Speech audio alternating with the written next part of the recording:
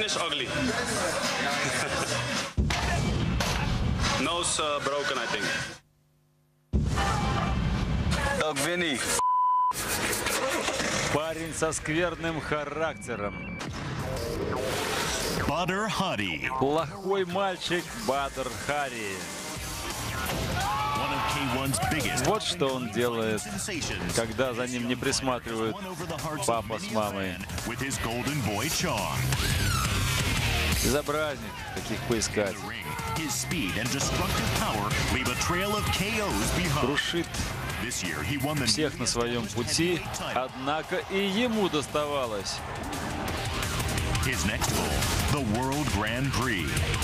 Но то, что он be 22, талантлив, то, что он очень остр, то, что он звезда, это очевидно.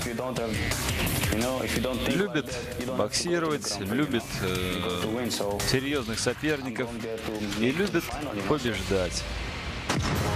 Нормальные качества для спортсмена, а это Даг Вайни.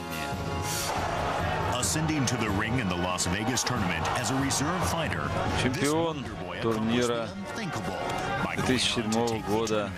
Becoming K1's very own Cinderella story.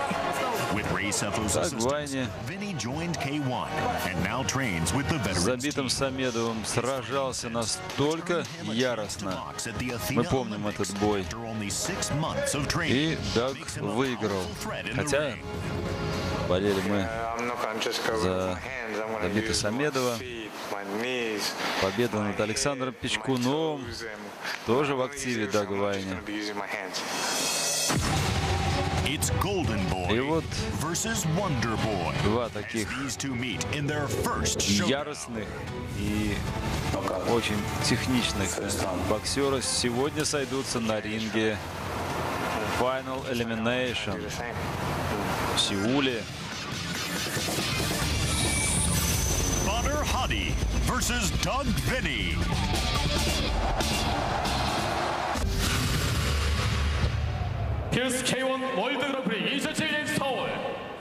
Турнир Final Elimination это, по сути дела, последний бастион, который нужно взять на пути главной крепости финалу Токио.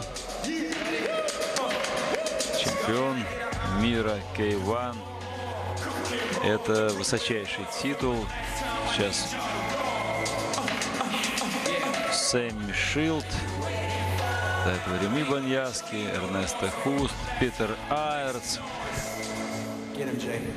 Ну а людей с великими, громкими, звездными именами здесь по-прежнему очень много.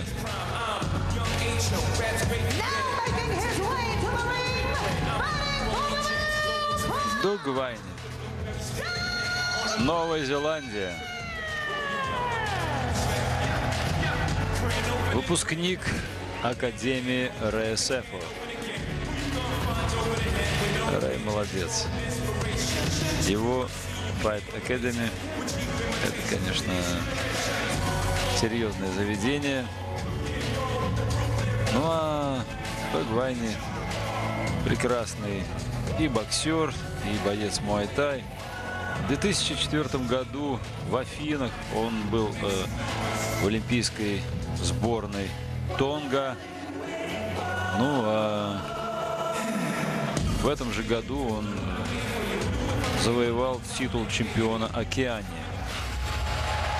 А ребята там крепкие, а кулаки у них тяжелые а головы непробиваемые. Однако Даг Вайни смог стать чемпионом. И вот то, что он здесь на ринге K1, это его характеризует с лучшей стороны. Потому что здесь, как правило, особенные люди.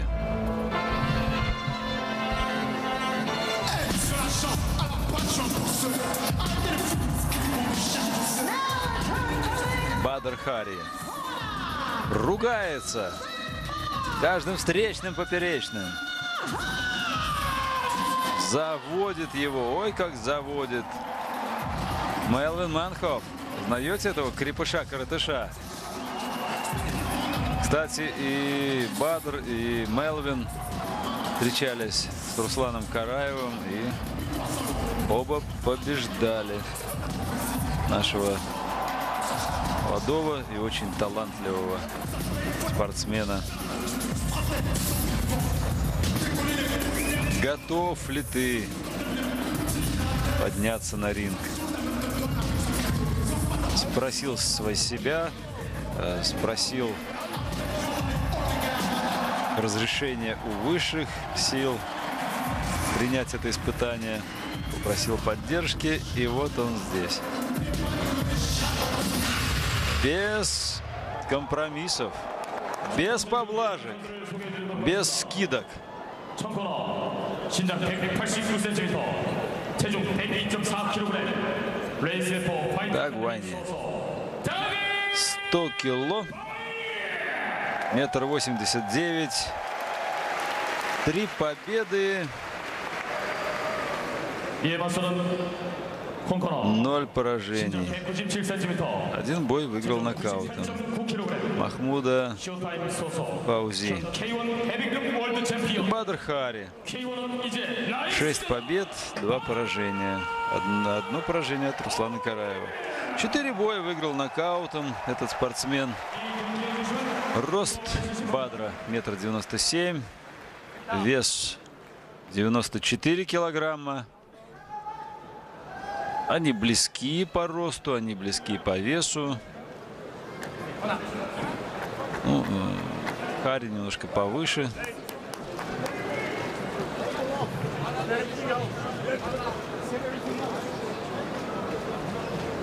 Ну, а несмотря на травмы, на сломанный нос, всевозможные рассечения, Бадр Хари остается по-прежнему вполне фотогеничным и очень грозным на ринге. Так, в белые трусы с золотым поясом. И Бадр Хари, как всегда, в черных трусах. Очень опасный был момент. Вайне просто очень взрывной. Несмотря на то, что в Новой Зеландии опасных животных и больших хищников нет, все это компенсируется, наверное, тем, что люди очень отважны и в бою чрезвычайно яростны. Я не могу вспомнить о своей любимой и самой мужской игре на планете Земля, которая называется регби. Так вот, новозеландцы, они, конечно, очень любят регби. И команда All конечно, это больше, чем просто команда. Ну, к сожалению, не дошли новозеландцы до финала, только что завершившегося Кубка мира. Не смогли австралийцы блеснуть в Париже. А вот англичане сражались со сборной ЮАР и Спрингбокс, южноафриканская сборная, выиграла, очень красиво выиграла этот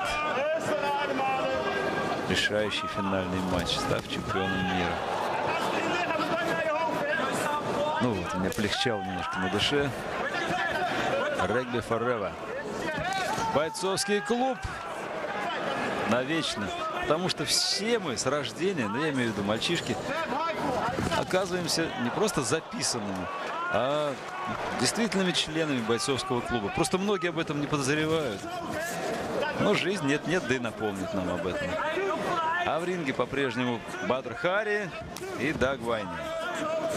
И первые атаки Вайни вроде бы слегка смутили Хари, но ненадолго. Сейчас он своей фехтовальной мушкетерской манере пытается пронзить новозеландца. А Хари, он сгребает, сметает и трамбует. Ему нужно лишь попасть. Пошел в ноги, сложился немножко и мог нарваться с левой ноги или боковым мог припечатать Бадр Хари. Очень опасно.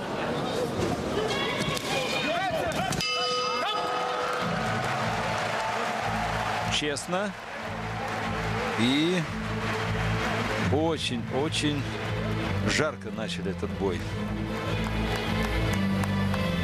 Все правильно ты делаешь, все нормально. Лишь повнимательней, потому что Бадр Хари славится тем, что уже на фоне усталости, в, казалось бы, сложной ситуации он наносит настолько быстрые, настолько точные, настолько опасные удары, что снискал славу очень-очень грозного спортсмена. Без поражения идет Бадр Хари. Почти. Дважды он споткнулся на своем пути.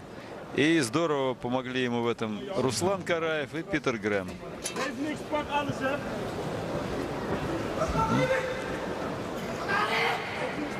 Больше не очень э, после этих двух поражений Бадр уступал кому-либо. В основном он отвечал, отвечал достойно. И с Русланом поквитался, и Питеру досталось. Перчатки вытирают. Во-первых, они могут быть просто мокрыми, скользнуть. А кроме всего прочего, они могут быть и в растирке тела перед боем.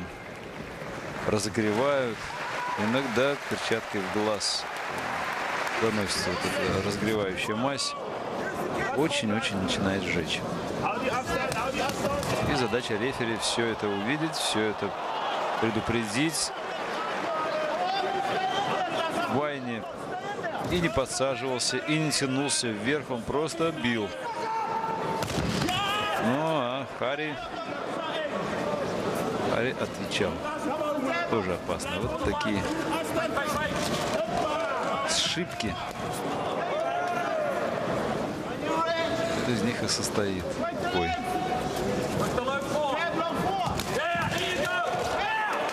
Сейчас в висок пробивал Бадр Хари. Немного открывался Вайни. Левая перчатка была далеко от головы.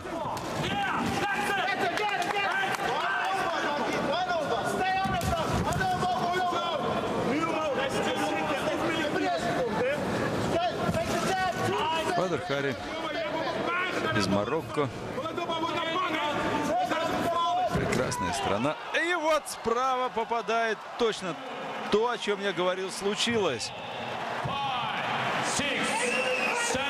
Как смотрит, как убедительно стоит. Рефери предложил Дагу Вайне отправиться в угол. И, по-моему, сделал правильное решение. Господин рефери Мелвин Манхоф. Такой, казалось бы, небольшой, но какой он здоровый. Силище хоть отбавляй. Это было чисто. Как он щелкнул. Это Бадр Хари. В своей манере. Да, да, да. Длинный, прямой.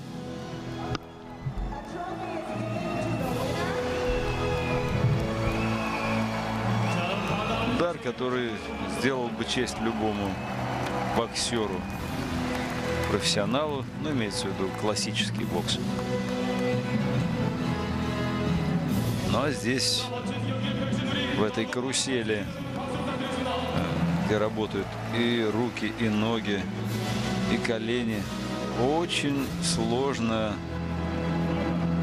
боксировать в традиционной манере. Но удар есть удар. Очень доволен собой Хари. С минимальным ущербом. Почти не пропустил.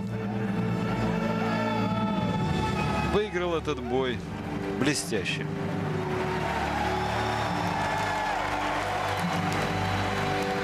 Даг Вайни уходит опечаленный и не совсем поняв, что произошло.